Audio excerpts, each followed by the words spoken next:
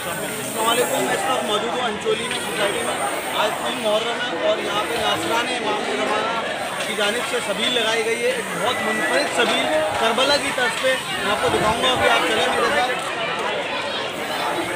यहाँ पे सबील जो लगाई गई है, इसमें फ्रूट भी हैं और शावरमा इस वक्त तैयार हो रहा है, आप दिखा सकते हैं। ये फ्रूट्स इन्होंने लगाए करबला की तरफ़ से माशा मौला इनकी तोफ़ीक़ात में इजाफा फरमाया आप देख सकते हैं, बड़े साफ़, सुथरे अंदाज में इस और शावरमा भी तैयार हो रहा है। मजलिस ख़त्म होगी, मौलाना अली रज़ा रिजवी की तो उसके बाद जो लोग मुमिन निकलेंगे, उनमें डिस्ट्रीब्यूट किए जाएँगे।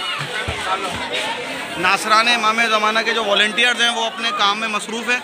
आप देख सकते हैं, माशाल्लाह, बड़ी साफ़ सफ़ाई और सुथराई से इन्होंने जो इंतज़ाम किया हुआ है, सब भाई थोड़ा दिखाएँ। ये जो इंतज़ाम है, ये लाइन लाइन का लाइन वाइज जो है लोग लेंगे।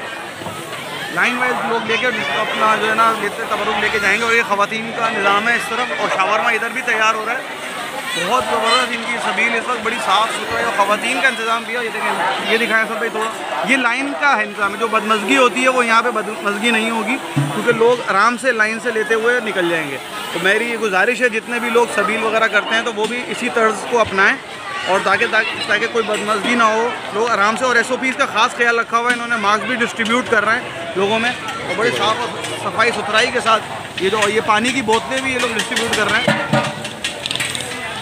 ये देख सकते हैं आप बिल्कुल सामने। इन्होंने प्लीज़ वेयर मास्क का भी एक वो बोर्ड लगाया हुआ है। और ये क्योंकि एस के हमें बहुत ज़रूरी है। एस को मद्देनज़र रखते हुए अपनी मजालस का अहतमाम करें।